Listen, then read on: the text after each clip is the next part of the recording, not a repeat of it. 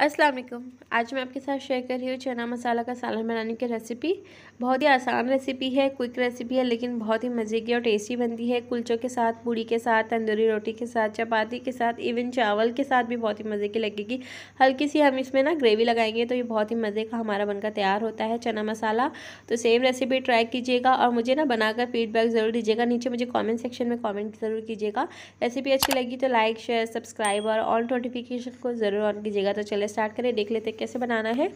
तो यहाँ पर मैंने देखिए दो कप जो है काला वाला जो चना आता है, उसको मैंने भिगो के रखा था रात भर तो ये बिल्कुल रेडी हो चुका है सोख हो चुका है।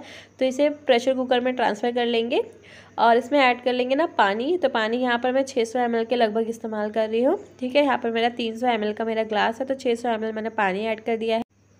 अब इसी के साथ इसमें ऐड कर लेंगे टेस्ट के अकॉर्डिंग नमक। नमक ऐड करने के बाद ना, इसे अच्छी तरीके से मिक्स कर लेंगे। और यहाँ पर मैं इस्तेमाल करूँगी दो आलू का तो मीडियम साइज़ के दो आलू डाल लीजिएगा इसमें। और इसी के साथ दो टेबल स्पून जितना ऑयल डाल लीजिएगा, ताकि ना प्रेशर कुक करते वक्त ना इसका जो पानी है, वो बाहर ना आए, ठीक है? सीटी लगाते वक्त पानी जो कुकर में से आता है, वो ना आए, ठीक है? और इसे हम प्रेशर कुक कर लेंगे जब तक कि, जब तक कि इसमें आठ से नौ सीटी नहीं जाती, या फिर अच्छी तरीके से गल नहीं जाता, ठीक है? तो इसे प्रेशर कुक कर लीजिएगा। आठ से नौ विसल आने तक आप अपने कुकर के हिसाब से भी इसे कुक कर सकते हैं, ठीक है? बस। अब हम यहाँ पर बनाएँगे हमारे चने के लिए मसाला तो एक कढ़ाई ले लीजिए, इसमें ऐड कर लीजिए तीन से चार टेबलस्पून जितना ऑयल ऑयल को आप अच्छी तरीके से गर्म कर लीजिएगा, ठीक है? तो यहाँ पर देखिए, ऑयल हमारा अच्छी तरीके से गर्म हो गया है तो इसमें ऐड कर लेंगे हाफ़ कप जितना अनियन, जिसे मैंने बिल्कुल फाइनली चॉप किया है मतलब कि बारीक बारीक चॉप करना है, ठीक है? अच्छी तरीके से हमें इसे फ्राई करना है, जब तक कि इसमें अच्छा सा कलर नहीं आ जाता, ठीक है? हल्का हल्का गोल्डन हो जाए, उतना आप इसे फ्राई कर लीजिएगा। तो यहाँ पर देखिए, प्याज़े मैंने अच्छी तरीके से फ्राई कर ली हैं, ये इस पॉइंट पर है, ये इस तरीके का जब हो जाए तो बस इससे ज़्यादा हमें क्या करना है, लाल नहीं करना कलर नहीं चेंज करना है। अब हम इसमें ऐड कर लेंगे जिंजर गार्लिक पेस्ट यहाँ पर मैं टू टी जितना है जिंजर गार्लिक पेस्ट का इस्तेमाल कर रही हूँ, ठीक है? तो दो टीस्पून इसमें डाल दीजिए और अनियन को बहुत ज़्यादा लाल नहीं करना है, ठीक है? अब जिंजर गार्लिक को भी अच्छी तरीके से भून लेंगे अनियन के साथ। तो आप चाहें तो यहाँ पर दो टीस्पून जितना पानी भी ऐड करके इसे भून सकते हैं, ठीक है? जिंजर गार्लिक को, ठीक है? ताकि ये जो है जले ना।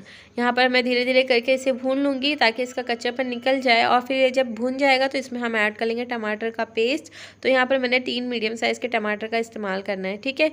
तो अच्छी तरीके से उसे मिक्सी में चला लीजिएगा और इसमें ऐड कर लीजिएगा। तो आप देखिए, जिंजर गार्लिक हमारा अच्छी तरीके से भुन गया है। तो अब हम इसमें ऐड कर लेंगे टोमेटो पेस्ट।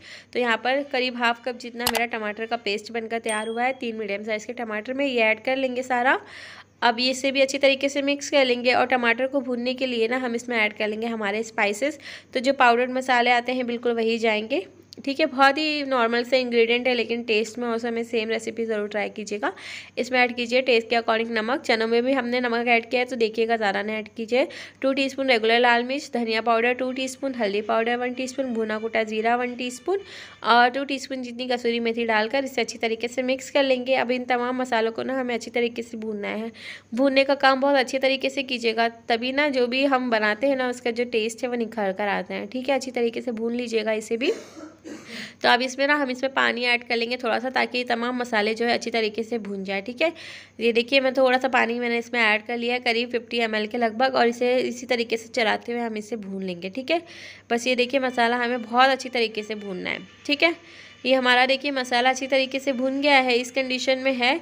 तो अब हम इसमें ना हमारे जो चने हैं, वो भी कुक हो चुके हैं। हम इसे चेक कर लेते हैं, आठ से नौ विसल आ चुके हैं। तो हम इसे चेक कर लेते हैं, मसाले जो है भुन चुके हैं। अब गैस का फ्लेम लो कर दीजिएगा और यहाँ पर चने चेक कर लेते हैं। तो चने देखिए हमारे अच्छी तरीके से बॉयल हो गए हैं कुक हो गए हैं। और इसमें ना बिल्कुल भी पानी नहीं है, मैंने छः सौ पानी ऐड किया था, वो सारा ही जल चुका है। ये देखिए, और चने भी अच्छी तरीके से सॉफ्ट हो गए हैं। इस तरीके का हमें चाहिए तो अब हम क्या करेंगे, इसे ट्रांसफ़र कर लेंगे हमारे मसाले में। तो सारा ही जो चना है, आप इसमें डाल दीजिए।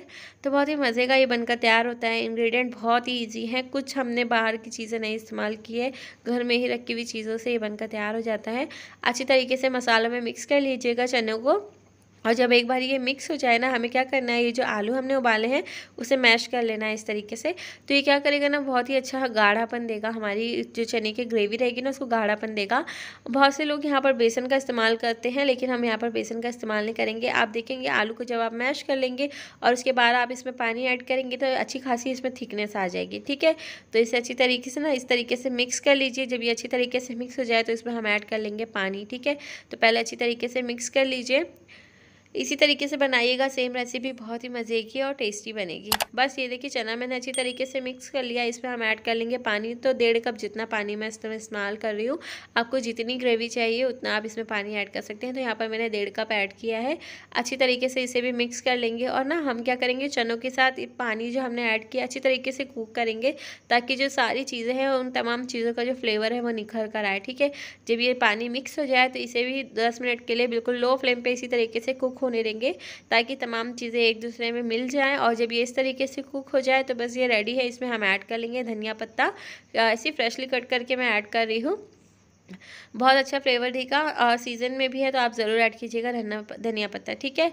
ये जब कट करके मैंने ऐड कर लिया है तो इसके बाद इसमें ऐड कर लेंगे दो से तीन ग्रीन चिली साबुती बीस से मैंने स्लिट करके यहाँ पर रखी हुई है तो वो मैं इसमें ऐड कर लूँगी, ठीक है?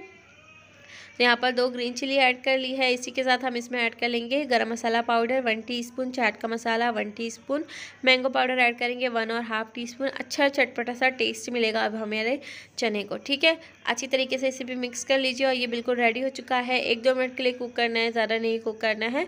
और ये देख रहे हैं आप कितनी थिकनेस आ गई हमने बेसन वगैरह कुछ भी नहीं ऐड किया और उसके बावजूद हमारा जो चना मसाला है बिल्कुल मज़े का बनकर तैयार हो गया है। इसी तरीके से बनाइएगा, मुझे फीडबैक ज़रूर दीजिएगा कि आपको कैसे लगा। और मैंने इसे चावल के साथ सर्व करने वाली हूँ। मुझे आज इसे चावल के साथ खाना है तो बहुत ही मज़े की हमने ग्रेवी बनाकर तैयार कर ली है चने की। तो सेम रेसिपी ट्राई कीजिएगा, बनाइएगा ज़रूर फीडबैक ज़रूर दीजिएगा शेयर ज़रूर कीजिएगा कि आपकी रेसिपी कैसी बनती है। मुझे ज़रूर बताइएगा। रेसिपी अच्छी लगी तो लाइक कर दीजिएगा शेयर कर दीजिएगा ऑल नोटिफिकेशन को ज़रूर ऑन कीजिएगा। चैनल पर नए हैं तो सब्सक्राइब ज़रूर कीजिएगा।